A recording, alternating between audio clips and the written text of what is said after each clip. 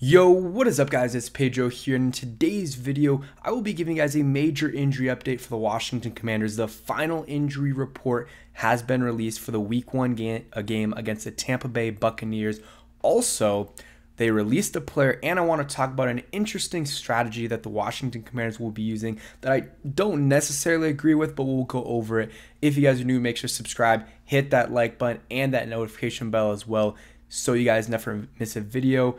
And yeah, all those things help out a ton. It's week one. Let's start it off well. And doing all those things help out a ton. And make sure you guys check out BetUS. First link in that description. So you look at, we'll go for the injury update first and then go over this kind of interesting rotation that the commanders are planning to try out that I don't necessarily agree with. Uh, but injury update wise, Mariota's out with a pec injury, uh, chest slash pec injury. Didn't or was limited on Wednesday, then didn't practice Thursday and Friday. So seems like something that could be a little bit long term. Uh, Johnny Newton or Jer'Zhan Newton, uh, foot injury, limited DNP, limited. He's doubtful for the game. Yeah, just not gonna play. More likely than not. Brandon Coleman doesn't even have an injury designation. That's good. Uh, full, full, full, full, and full for the rest of the guys. So that's great. And then you look at the Tampa Bay Buccaneers. Yeah, Logan Hall, defensive lineman. He's out. You got Calijah Kancey. Uh, he is questionable. Practice both days, and then had uh, or practice Wednesday and Thursday, and then was limited on Friday. I'm guessing he plays. Then you got Trey Palmer with a concussion. Was full all week. He'll play. And then you got Ernest Brown, a D lineman. He is out. He's getting. He's he just got put on IR, I guess. And everyone else is good. Mike Evans, uh, I was gonna say maybe looks like he's a little banged up. Nope, just uh, rest. And a lot of receivers you're gonna have to worry about. Mike Evans and Chris Godwin, the you know the main guys. We'll see if Mike Evans, Mike San- or not Mike Evans, if Emmanuel Forbes, Benjamin St-Juste, and Mike Sainristil still are able to keep up with them. I mean, that's the strength of their team is their receivers. They got some good O linemen too. I mean, Tristan Wirfs one of the best in the game, and Rachaad White isn't too bad either. Like this team is not bad. The Tampa Bay Buccaneers are a solid, solid football team. They made the playoffs last year. They won a playoff game. It's no joke of a team. So uh, can't take them lightly at all.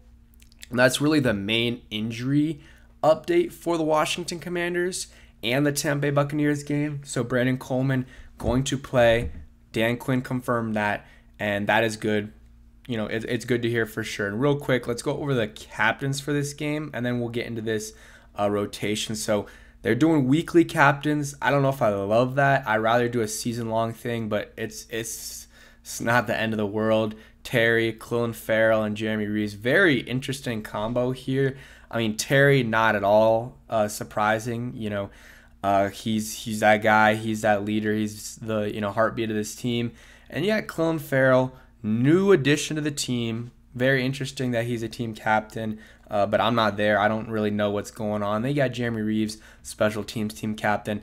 Not surprising there. Would love for Tress Way to be captain at some point, but uh, Jeremy Reaves has been you know captain the last few years, or at least last couple years, and has done a good job at it, and is a good special teams player. So uh, I'm definitely fine with him as a captain. It really is not a big deal. Some teams do like eight, ten captains.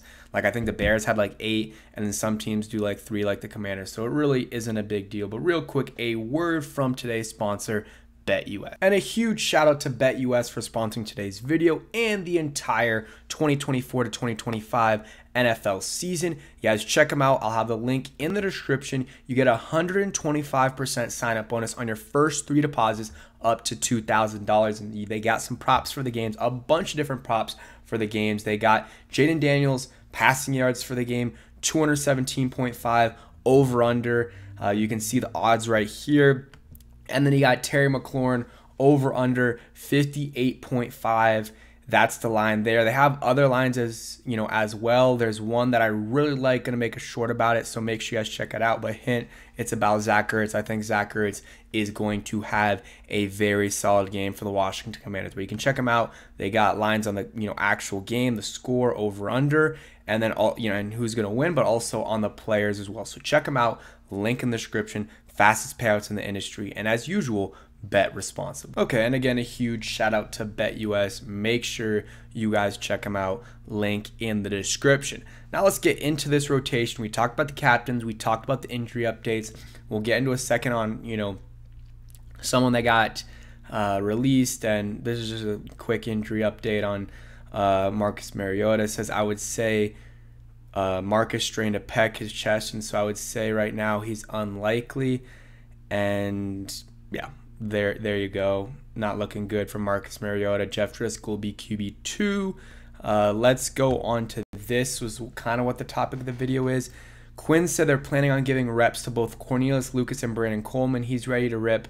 Quinn said of Coleman. I just don't love a tackle rotation week one, and I get I understand where they're coming from because they don't want they don't want to overwhelm uh, Brandon Coleman, and maybe you know he's still dealing with that injury, and it's a pain tolerance thing, and they don't want to, uh, you know, maybe they think he can't handle the pain, or they don't want him to play the whole game, or it's a situation of okay, this guy, he's a rookie, third round pick, obviously has never played in the NFL before, didn't even play in the preseason, missed a lot of camp.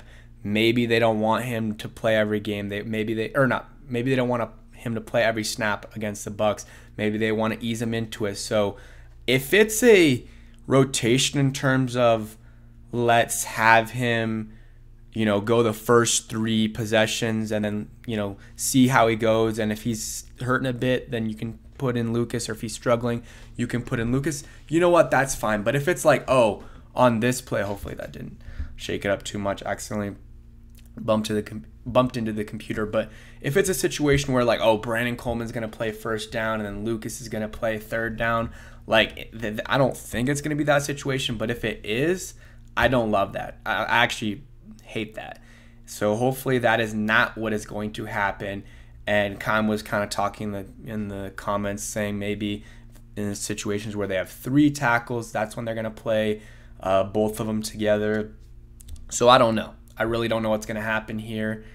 Um, we'll have to wait and see. But Brandon Coleman's going to play. The question is how much and how much is that injury still kind of bothering him. And then, yeah, so I- am really excited to see Brandon Coleman, though. Made a video about him yesterday. Please, please go check that out.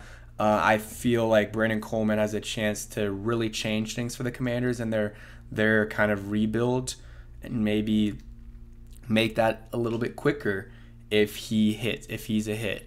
And uh, yeah, excited to see what he can do this week against the Tampa Bay Buccaneers. Not going to be an easy task going up against a solid Bucs pass rush, and you know Todd Bowles knows how to, you know, trick quarterbacks and even offensive linemen as well. So we'll see what what happens on Sunday against the Bucs. And sorry if I repeated a couple word, words there.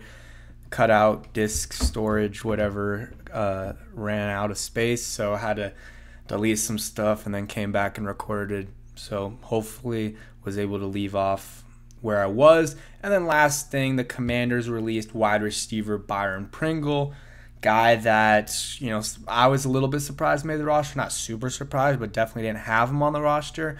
So I guess they they're getting him off. We'll see if they call any players up on game day. Maybe a Kazmeir Allen type maybe you know another guy. I don't know, but they brought in Noah Brown, so they just feel like they don't need uh, Byron Pringle, and uh, we'll see what the corresponding move is. You know, maybe again they promote someone from the practice squad to the active roster.